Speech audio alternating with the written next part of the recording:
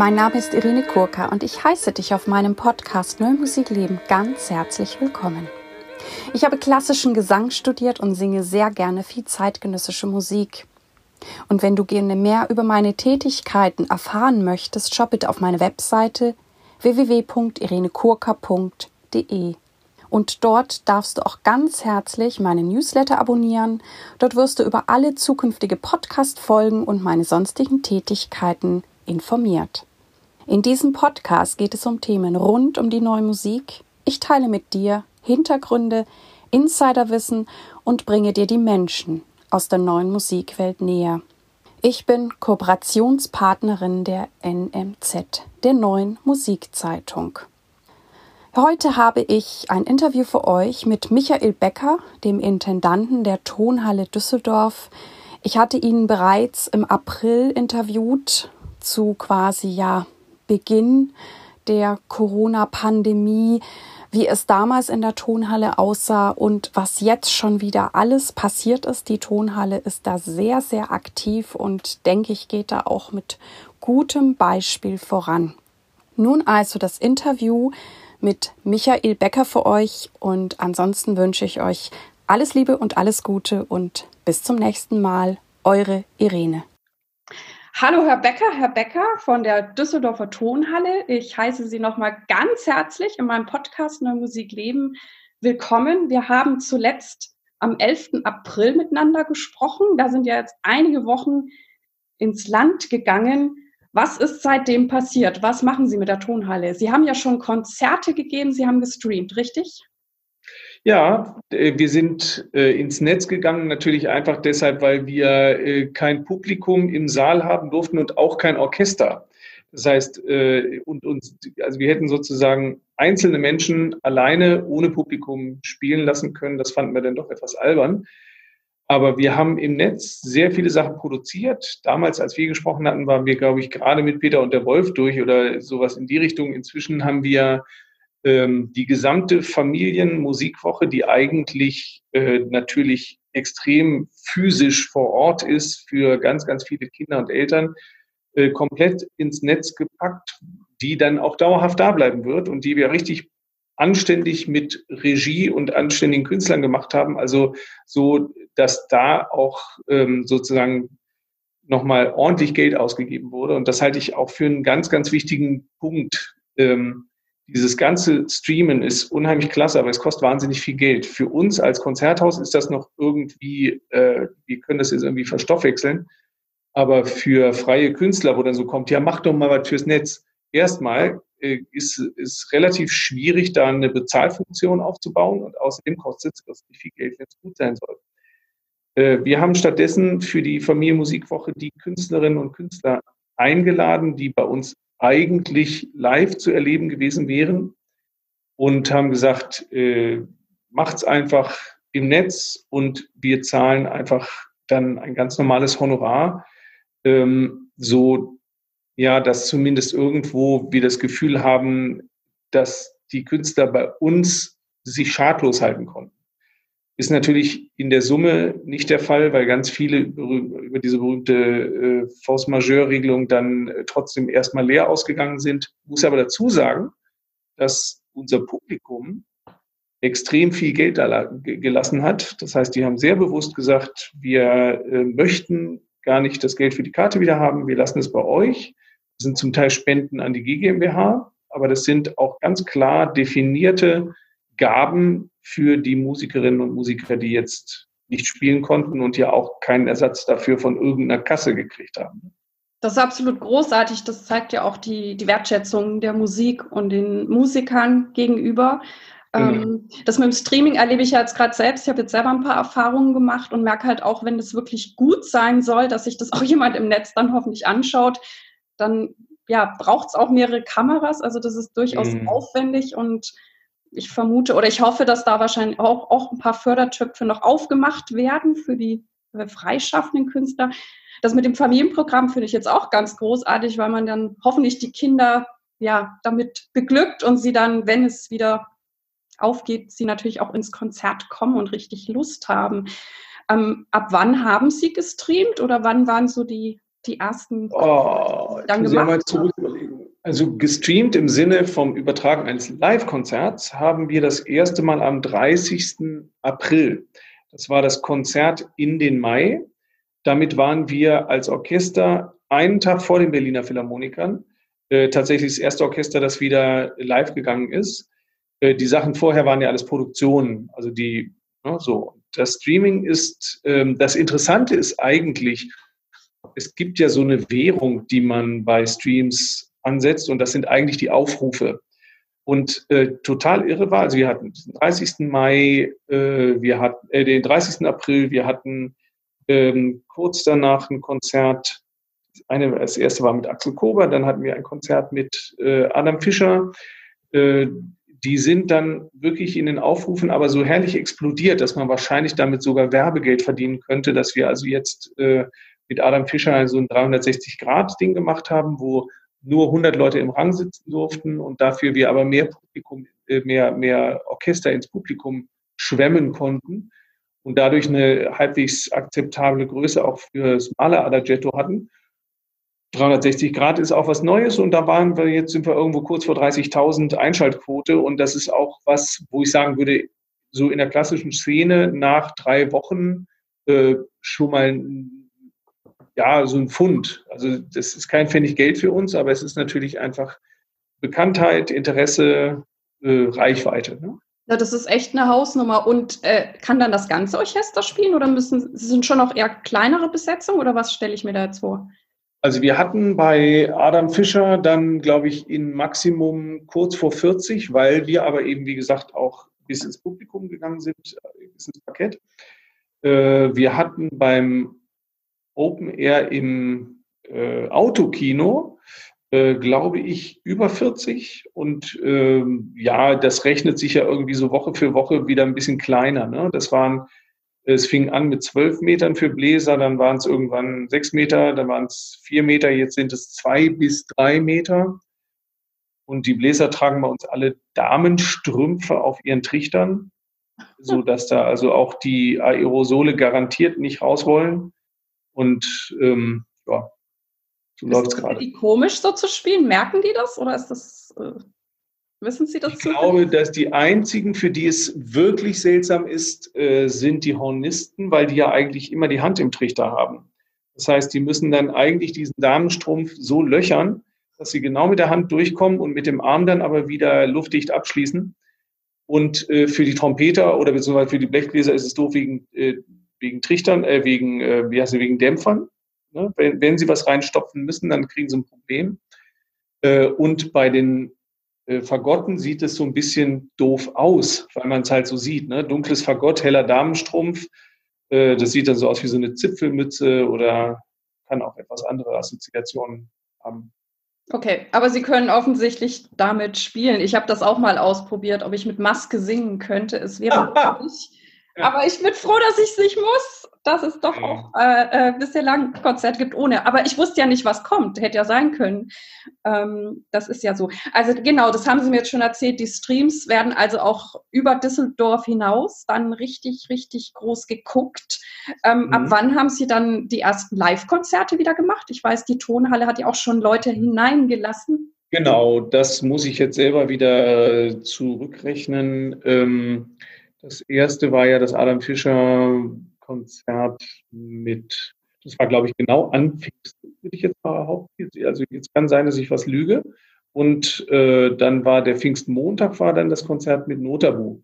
Also wo wir dann das erste äh, neuere Musikkonzert gemacht haben, wo so ein paar Klassiker der Moderne dabei waren auch und das dann auch äh, gemessen an den Besucherzahlen, die wir bei den anderen Konzerten hatten, auch prima besucht war. Ne? Genau, ich war sogar in dem Konzert. Ja, ähm, guck. Das, das war super. Ich glaube, es war wirklich auch die Maximalzahl, die der die rein durfte, rein durfte ausgeschöpft und ähm, es war auch super organisiert, also mit Einlass und wo man wie sitzen durfte und man durfte nur auch alleine auf die Toilette und so schön. Aber das haben sie sehr, ja, sehr. Ja, das mache ich aber normalerweise eh immer alleine. Also. ist, äh, ja, Also die Toilette hat ja oft auch drei Ställe, sage ich jetzt. Ja, stimmt. Also wir, man darf, genau. genau. Ähm, aber da, ich, ich habe das Gefühl, das ist, ist sehr gut angenommen worden, weil die Leute waren einfach so froh, wieder in ein Konzert gehen zu können. Und es haben sich auch alle an diese Spielregeln gehalten. Und ich fand es einfach ähm, ja, sehr, sehr schön.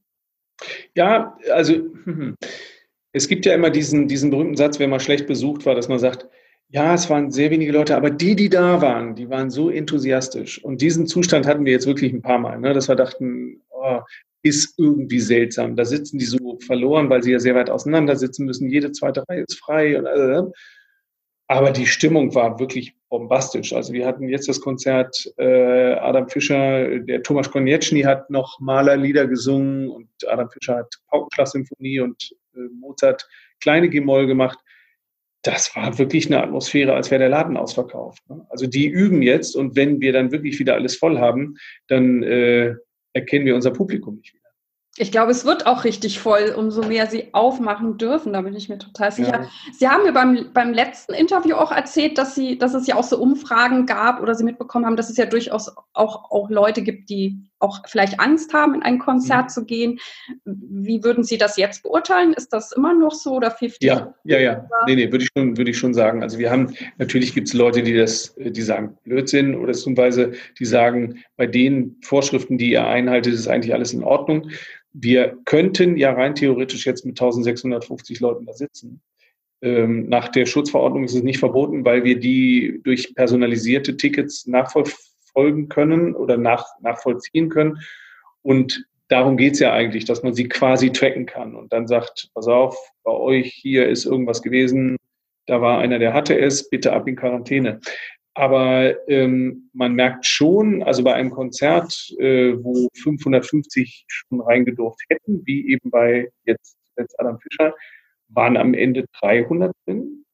Und that was it. Also da merkt man dann, und das sagen die auch ganz freundlich, vielen Dank, dass Sie uns auch aufmerksam gemacht haben, aber also wir machen jetzt hier mal Sommer und warten, bis das Ganze sich gelegt hat, bevor wir ähm, uns das jetzt noch antun und die Turnhalle plötzlich Hotspot ist. Okay, also es gibt immer noch so, sage ich, beide Lager, die, die richtig froh sind, dass es was gibt und die anderen, die durchaus etwas ängstlicher sind. Ja, aber die sind trotzdem froh. Das ist ja das Verrückte. Die sagen, super, dass ihr es macht, vielen Dank, ich traue mich nur nicht. Also das Ach ist ja auch noch was anderes, als zu sagen, nee, Konzert ist doof, weil. Ne? Genau. Aber die können sich ja dann die, die schönen Streams und die Kinderkonzerte angucken.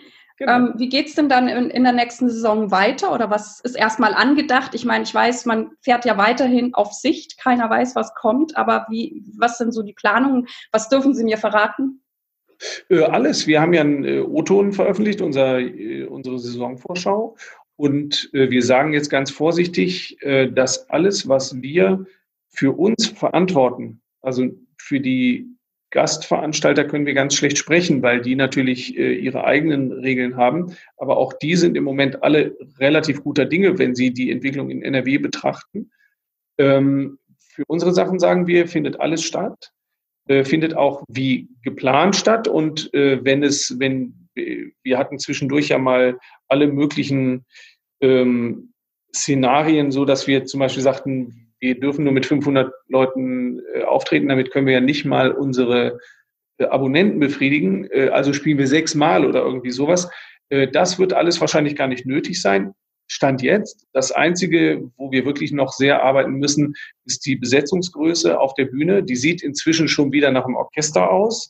Aber äh, jeder Geiger mit einem Pult, äh, jede Cellistin mit einem Pult, die Holzbläser eben immer noch relativ weit auseinander ähm, ist ein bisschen spaßfrei und wir hoffen einfach, dass wir da noch etwas näher an ähm, das Gewohnte kommen und beginnen aber mit einer relativ klein besetzten ersten Programmierung. Da haben wir, boah, ich weiß nicht welche, Leonore 3, ähm, Beethoven, dann ähm, Bergviolinkonzert mit Frank-Peter Zimmermann und äh, jetzt muss ich lügen, ich glaube Jupiter-Symphonie, also äh, alles Sachen, die man durchaus mit einer relativ kleinen Streicherbesetzung sehr authentisch spielen kann, also ohne dass das dann nach Mogelpackung aussieht. Danach, also ich glaube, wenn Sie mich fragen, die Leningrader Symphonie, die glaube ich im November dran wäre, die werden wir wahrscheinlich doch verlegen. Also so kommt es mir im Moment vor. Ich glaube nicht, dass äh, dicht an dicht bis dahin erlaubt ist, es sei denn, es wird genau die gleiche Regelung gefunden wie beim Publikum, dass man sagt, wieso, die sind doch nachvollziehbar, nachverfolgbar und müssen dann halt äh, pausieren, wenn einer von denen was kriegt. Mhm, okay, okay, ich verstehe. Und so von den, wir haben ja auch letztes Mal drüber gesprochen, was ist, wenn man jetzt Künstler von, weiß ich nicht, USA einladen möchte? Ähm, das lassen Sie jetzt so auf sich zukommen, die Saison? Ja, im Moment haben wir, also wo wir ein Problem hätten, wäre Alpesh Chauhan, der ist im Moment in Birmingham. Äh, ich glaube, die weiß gar nicht genau, ob es auch so rum ist, aber ich glaube, wenn man aus Großbritannien kommt, muss man auch erstmal in Quarantäne. Ich bin nicht so hundertprozentig, aber äh, da gibt es, glaube ich, im Moment wenige Fälle im, in der äh, ersten Saisonhälfte. Bin mir nicht sicher, ob wir überhaupt jemanden aus Übersee. Ich glaube, wir haben bis dahin niemanden aus Übersee und ähm, natürlich kommen ein paar Leute dann aus außerhalb der EU und die, die gucken dann vielleicht in die Röhre, glaube ich aber nicht. Also jedenfalls nicht, wenn nicht tatsächlich jetzt, es sieht ja ein bisschen so aus, ganz im aktuellen Moment, als gäbe es diese zweite Welle gerade jetzt. Da wir aber alle ein bisschen besser wissen, was geht und was nicht geht, braucht die ja gar nicht so dramatisch zu werden, sondern eigentlich erreichen, erreicht die Politik ja jetzt genau das, wovon sie immer geredet hat, nämlich dieses sozusagen geführte Infektion. Ne? Kriegen tun wir es alle, solange es keine Impfung gibt. Und ähm, die Krankenhäuser sind hier gerade überhaupt nicht überlastet. Das heißt, man könnte jetzt es wagen und merkt dann ja an solchen Geschichten wie Gütersloh oder äh, hier die, die, die Dönerschlachterei, dass es im Moment äh, so Hotspots gibt, die sich aber sehr, sehr gut berechnen lassen. Ne? Also wir brauchen gar nicht unbedingt, obwohl es vielleicht sogar mehr Infektionen gibt, äh, im Herbst braucht man vielleicht gar nicht so drastisch zu werden, wie man das beim ersten Mal nachvollziehbarerweise war. Das können wir hoffen. Sie haben vorhin noch gesagt, Sie haben schon im Autokino gespielt. Wie war das? Also das stelle ich mir auch ganz ähm, wichtig vor mit Klassik. Ja, das war, also wir haben, äh, das war ein Opern Open Air, ähm, wo, also unser Orchester gehört ja auch als Orchester zur Deutschen Oper am Rhein. Und äh, das wirklich exzellente Ensemble der Deutschen Oper am Rhein hat, die haben mehr oder weniger die Schmankerl aus der romantischen Opernliteratur gemacht. Ähm, der Chor war auch da, da haben sie irgendwas ganz Rührendes gemacht. Man sah nämlich, dass einige Chormitglieder äh, sich sehr nahe kamen auf der Bühne, wo man sagt, äh, dass sie jetzt aber nicht mehr die fünf oder was Meter Abstand, die die dürfen. Nee, die waren verheiratet. Das heißt, die haben einfach die Paare dann ausgesucht und zusammengesetzt und dadurch konnte der Chor etwas glaubwürdiger Chor sein und das Ganze hatte, es war ganz rührend. Und ähm, erstaunlich fand ich persönlich, das war technisch unglaublich gut gemacht. Also man hörte, man kriegt ja dann das Ganze ins Autoradio gelegt auf einer festgelegten Frequenz. Und es war gut, also es klang wirklich wie eine sehr gute Rundfunkaufnahme von einem Konzert von Schwetzinger Festspielen oder so. Das war wirklich sehr, sehr gut gemacht. Und naja, dann dieses, diese Lichthupe und, und äh, Blinker an, aus oder solche Sachen, das ist ja auch alles ganz, nein, das ist alles sehr, es hat was ganz Liebevolles, obwohl da diese blöden Maschinen stehen. Aber äh, ich brauche es nicht jeden Tag.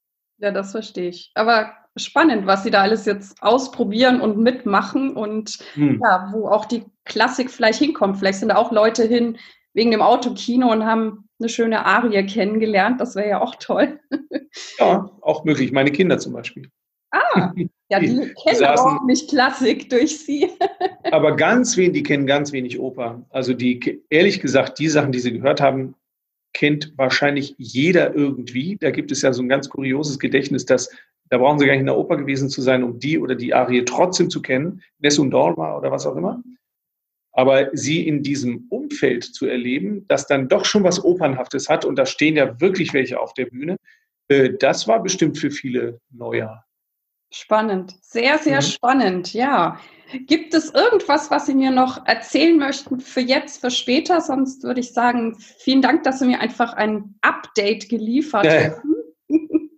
Nein, ich bin sehr dankbar, dass ich die Gelegenheit hatte, das nochmal loszuwerden alles. Aber wir sind im Moment wirklich äh, guter Dinge, dass wir, wir haben jetzt ja real, wir hätten ja sowieso am 28. Juni, also übermorgen, das letzte Konzert gehabt. Wir machen es spielen es. Also man hat so das Gefühl, äh, es wird alles wieder gut und danach heißt es eigentlich hier nur aufräumen, renovieren, Küche sauber machen und dann hoffen, dass es äh, zum 28. August dann wieder mit allem Mann auf die Bühne geht.